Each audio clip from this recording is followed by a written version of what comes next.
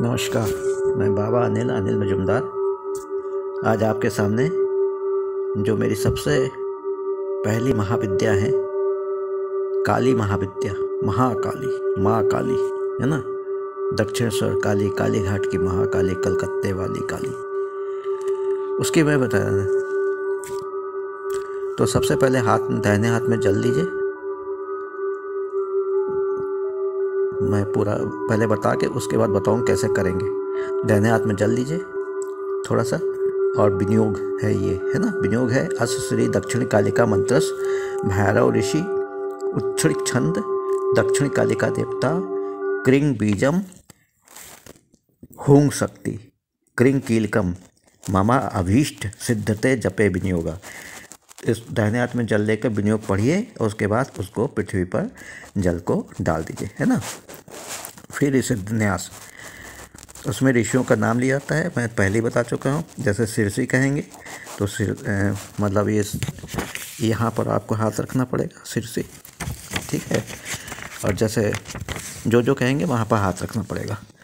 ओम भैरव ऋषि नमा सिरसी। ये हम्म? उच्छृंग छंदे समान नमा मुखे हम्म? दक्षिण कालिका देवता है नमा हृदय हृदय पर, ठीक है ना? अच्छा। फिर है, क्रिंग बीजाय नमा गुहे गुहे, गुह स्थान है ना? मल द्वार समझ रहे? होंग सकते नमा पाद्यो, पहले दाहिने पैर में, होंग सकते नमा पाद्यो, फिर बाएँ पैर में, फिर क्रिंग कीलकाय नवा नाभो, फिर नाभि में। वो नाभि तो मैं दिखा नहीं पाऊँगा, बहुत पहने हुई हूँ, है ना? नाभि के ऊपर हाथ रखिएगा। अब विनियोगा नमा सर्वांगे, ये से लेके नीचे पैर तक सर्वांगे। समझिए ना? करन्यास में बता ही चुका हूँ। ओम क्रांग अंगुष्ठभ्याम नवा ठीक है? ऐसे। हुँ? हम्म? फिर ओम क्रिंग तडनाभ्याम नवा ये। ठीक है? फिर है ओम क्रंग मध्यमाम नवा ये मध्यमा। ये अंगूठे को मध्यमा पे रखिए। ठीक है? उसके बाद है ओम क्रंग अनमिक का अभ्याम नवा ये अनमिक का अंगूठे को अनमिक का अभ्याम फिर है ओम क्रौंग कनिष्ठिक अभ्याम नवा ये कनिष्ठिका फिर करतल कर एक ताली फिर कर पृष्ठ अभ्याम मतलब हाथों से ताली बजाएगा पिछले पिछले उसे पृष्ठ तल से ताली बजाएगा ठीक है ना फिर हृदय न्यास ओम क्रांग हृदय नवा ओम क्रींग शीर्षि स्वा ओम क्रांग शिखाए बखट, ये ये चुटिया, है ना? ओम क्रैंग कपचाए हूँ, ऐसे। दोनों पे हाथ पे रखिएगा, है ना? फिर ओम क्रोंग नेत्राय बखट, ओम क्रोंग नेत्राय बखट, ओम क्रोंग नेत्राय बखट। दाहिना बायां, फिर बीच में जो नेत्र होते है ना? फिर ओम क्रांग अस्त्राय फट। फिर देखिए, ऐसे करके घूमते हुए ओम क्रांग अस्त्राय, और फिर हथेली पर टप्पा से मारिएगा। ठीक है? फिर है बिन सेतु बिन सेतु क्या है? हृदय पर हाथ रखिए, कहिए, ओम, अंग, आंग, इंग इंग, ऊंग ऊंग, रिंग रिंग, लंग लंग, नमो हृदय। फिर दस बुझे में, माँ के दस बुझे में होगा, है ना? अच्छा ओम एंग एंग ओंग ओंग अंग अह कंग, खंग, गंग घंग दस भुजे, ठीक है? माँ के दस भुजों को ये आप कर रहे हैं। उसके बाद जो है मैं आपको बताऊँ। ओम, डंग, चंग, छंग, झंग, त्रंग, टंग ठांग डूंग, डंग, नमो, बाम भुजे, माँ के बाम भुजे में, है ना? फिर है ओम रंग तंग थंग दंग धंग नंग पंग फंग बंग भंग नमो दक्ष पादे दाहिने पैर में, है ना? ओम मंग यंग रंग लंग वंग शंग शंग हंग संग नमो बाम पादे बाएँ पैर में। फिर कहिएगा, माँ के माँ के हृदय पर, ब्रह्मरंध्र में। जहाँ पर ब्रह्मरंध्र क्या होता है? यहाँ से, जहाँ से आत्मा निकलती मरने के बाद, है ना? ये। ओम क्रिंग नमा ब्रह्मरंध्र। ओम क्रिंग नमा भूमध्य, यहाँ पर भूमध्य में, है ना? ओम क्रिंग नमा ललाटे, ये। ओम ह्रिंग नमा नाभो नाभो, नाभि पर हाथ रखिए। ओम हिरिंग नमा गुहे गुदा द्वार पे, है ना? ओम हुंग नमा बक्र, चक, बक्रे। ओम हुंग नमा मुर्व अंगे, ठीक है? ये। अच्छा फिर ध्यान करेंगे, पीठ देवता की स्थापना पहले करिए। पहले माँ का ध्यान करिए। मैं अभी फ़ोटो दिखाऊँगा, उसका ध्यान करिएगा। माँ काली की फ़ोटो आप खरीद के आपको लाना पड़ेगा। पीठ देवता की स्थापना। क्या कहेंगे? पीठ देवता में ओम मंग मंडुकादि पर तत्वा तत्वांत पीठ देवतभ्यो नवा है ना? फिर आप माँ के जो मतलब क्या कहते हैं, अनुचरी होती हैं, ओम जयाय नमः, ओम विजयाय नमः, ओम अजिताय नमः, ओम अपरजिताय नमः, ओम नित्याय नमः ओम विलासनाय नम, ओम दोग्घाय नम, ओम अघोराय नम, ओम मध्य, ओम मंगलाय नम। ये माँ की सहचरी होती हैं, इनकी पूजा जब हम नमा कहेंगे तो पुष्प अक्षत लेके माँ पर चढ़ाना होगा, ठीक है ना? फिर आप माँ काली का यंत्र खरीद के बाज़ार से लाइएगा, तांबे का हो, और उस पर जो है उसको यंत्र को जल, दूध, दही, घी, शहद और शक्कर से स्नान कराना, है ना? फिर पंचामृत से स्नान कराइएगा, फिर स्वच्छ जल से स्नान कराइएगा, फिर स्वच्छ कपड़े से पोछ कर पुष्पों का आसन देकर, उस पर माँ काली की फ़ोटो रखिएगा। और माँ काली का फिर आह्वान करिएगा, ध्यान करिएगा, फिर जाप करिएगा, फिर होम द्वारा प्रसन्न करिएगा। आपको क्या क्या सामान लगेगा? इत्र, लाल चंदन, रोली, अक्षत, पुष्प, धूप, दीप नवैद जल, तांबुल, सुपारी, दक्षिणा। मंत्र आपका मैं बता रहा हूँ। मैं जो करता हूँ, क्रिंग क्रिंग क्रिंग, हुंग हुंग हिरिंग हिरिंग दक्षिण काली के, क्रिंग क्रिंग क्रिंग, हुंग हुंग हिरिंग स्वाहा। ये तो मैं मंत्र, पता नहीं कब से कर, करोड़ों तो हो ही गए होंगे। फिर दूसरा मंत्र है, ओम, हुंग हिरिंग दक्षिण काली के, क्रिंग, हुंग हिरिंग स्वाहा। ये दूसरा मंत्र है।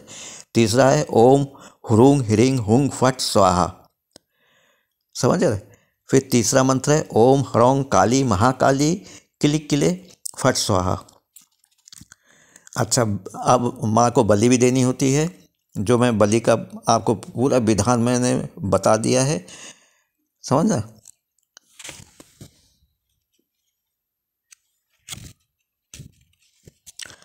तो बलि में माँ को जायफल चढ़ा सकते हैं, लौंग, नींबू, नारियल, गन्ना, इन सब की बलि आप दे सकते हैं। ठीक है ना? जीवित की नहीं, अजीवित। जैसे जायफल है, लौंग है, नींबू है, नारियल है, गन्ना, इनको। अब मैं आपको विधि बता रहा हूँ। सबसे पहले जाप, रुद्राक्ष की माला से जाप करनी होगी। नंबर दो, आसन, काला, लाल कंबल का मोटा आसन होना चाहिए। नंबर तीन, लाल वस्त्र धारण करना चाहिए। ठीक है ना? नंबर चार, दिशा आपकी जो है पूरब की ओर हो। मतलब आपका मुँह पूरब की ओर, माँ का मुँह आपकी तरफ़ पश्चिम की ओर हो। ठीक है ना? उसके बाद जो है, आप क्या करेंगे? प्रातःकाल आप नित्यक्रम से निर्वत होकर स्नान करेंगे। तो जो मैं इन मंत्रों को बताया है, चार मंत्रों को करीब, चारों मंत्र में किसी एक मंत्रों का अच्छी तरह से स्मरण करके जाप करते हुए आप स्नान करिएगा। फिर सबसे पहले सूर्य भगवान को पूजा कीजिएगा। फिर आप एक कमरे को स्वच्छ बहुत अच्छी तरह से करके माँ के लिए यंत्र खरीद के लाइएगा। तांबे का, सोने का भी होता है, चांदी का भी होता है, सब कुछ होता है ना? तो कुछ ही एक को खरीद लीजिएगा। खरीदने के बाद उसको अच्छी तरह से, जो मैं बता चुका हूँ, उन सबसे उनको स्नान कराइएगा। स्नान कराने के बाद शुद्ध जल से स्नान करा के कपड़े से पोछ के उसको एक चौकी लीजिएगा, उस पर लाल रंग का कपड़ा बिछाइएगा कॉटन का, है ना?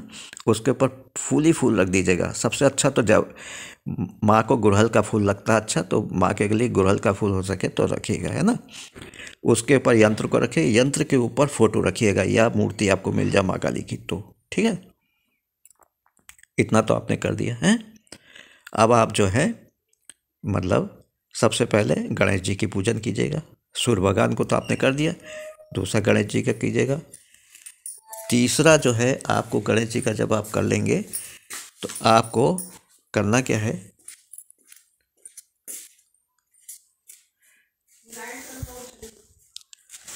गणेश जी के बाद आपको जो है, शंकर भगवान का, भोलेनाथ का। फिर भोलेनाथ जी के बाद विष्णु भगवान का करिएगा, फिर माँ की पूजा शुरू करिएगा, है ना? ये पंचदेव की पूजन पंचोपचार से करने के बाद आप जो हैं, पंचोपचार से पूजन करिएगा और उसके बाद जो है, आप माँ का पहले ध्यान करिएगा, फ़ोटो देखते हुए, माँ को आँख बंद करके सोचिएगा, माँ कैसी हैं, उसका आह्वान करिएगा, माँ को अपने घर में, परिवार में, पूजा स्थल में आह्वान करके उनको जो है, जो यंत्र आपने रखा उनको कहिएगा कि ये आपका स्वर्ण से स्वर्ण आसन है, जिसमें बहुत सारे रत्न चटे हैं, उसमें आके माँ विराजमान हुई। करने के बाद आप माँ को लाल रंग की चुनरी उड़ा दीजिएगा, सिंदूर का टीका लगा दीजिएगा, ठीक है ना? और जो है, और उनके लिए कुछ मीठा आप रख लीजिएगा। ऋतु फल जो होता है, कोई भी जो फल इस समय बाज़ार में है, उसको आप चढ़ा दीजिएगा। उसके बाद जो है, आप क्या करेंगे? जब ये सब सब हो जाएगा तो माँ को, माँ का जाप प्रारंभ कीजिएगा, है ना? मेरा मंत्र जो मैं कर चुका हूँ, सिद्ध कर चुका हूँ, सब जगह शमशान में भी, घर में सब और करोड़ों हो चुके मेरे। क्रिंग क्रिंग क्रिंग, हुंग हुंग, हिरिंग हिंग दक्षिण काली के क्रिंग क्रिंग क्रिंग, हुंग हुंग, हिरिंग, स्वाहा।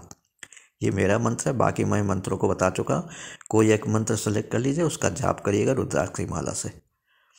और ये जो है कभी भी ये ना सोचेगा माँ आपके सामने प्रत्यक्ष आ जाएँगी, क्योंकि माँ की शक्ति एक सब स्टेशन पर जितनी बिजली इलेक्ट्रिसिटी होती है, उससे भी ज़्यादा इलेक्ट्रिसिटी होती है। आप उनके उनके दर्शन यदि आपके सामने आ जाए तो मर जाएँगे, है ना? इतनी ज़्यादा हाई वोल्टेज करंट होता है। इसलिए ये ना मन में रखिएगा, माँ जो है, आपके सामने प्रत्यक्ष आए। बस आशीर्वाद दे दें, यही बहुत है। इस मंत्र को कम से कम कम से कम आपको सवा लाख जाप करना होगा। वो आप सवा लाख जो है एक दिन में तो कर नहीं सकते। उसको आप दिनों में बाँध लीजिए ग्यारह दिन इक्कीस दिन इकतीस दिन इकतालीस दिन इकसठ दिन जितना भी कर सकते हैं है ना? सवा लाख इस मंत्र को जाप करना है। उसके बाद हवन करना है। हम्म, हवन में जो है साधारण जैसे होती है, मंत्रों से, इसी मंत्र से आपको आहुति देनी है। जितना मंत्र पढ़ा है, उससे आहुति दशांश मतलब उसका दसवां हिस्सा वो करेगा। फिर उस हवन के जो मंत्र है, दशांश, उसका भी मार्जन मार्जन के बाद जो है, दीपन करिएगा। उसके बाद जो है, कन्याओं को ज़रूर खिला दीजिएगा और एक ब्राह्मण को ज़रूर खिला दीजिएगा। किसी भूखे को अन्न दीजिएगा और वस्त्र दान कीजिएगा। ये मैं आपको महाकाली, जो प्रथम महाविद्या में प्रथम विद्या है, उसको मैं आपको बता रहा हूँ। भगवान आपकी मनोकामना को पूरी करे। आप जो हैं, सदैव जो है, बस धर्म भीरू रहें, धर्म की ओर बढ़ते रहें, और ये शाक्त लोगों की पूजा होती है है ना? इसको आप चाहें तो निर्जन स्थान में कर सकते हैं, शिवालय में कर सकते हैं, नदी किनारे कर सकते हैं, जंगल में कर सकते हैं और मैंने तो भैया शमशाद घाट में किया था। इसलिए तो आप जहाँ चाहें वहाँ कर सकते हैं। लेकिन आपको उसी समय करना है। यदि तीन टाइम कर सकें, तीन टाइम, नहीं तो रात्रि में ग्यारह से तीन बजे तक रोज करना होगा। ठीक है ना? एक दिन जितना मंत्र जाप करेंगे, जितने बजे बैठेंगे, दूसरे दिन से लेकर जब तक आप रखेंगे, वैसे ही आपको करना पड़ेगा। जय माँ काली। नमस्तुते। माँ काली को प्रणाम करिए और भगवान आप सबका कल्याण करें। जय हिंद जय भारती। नमस्कार। जय महाकाल।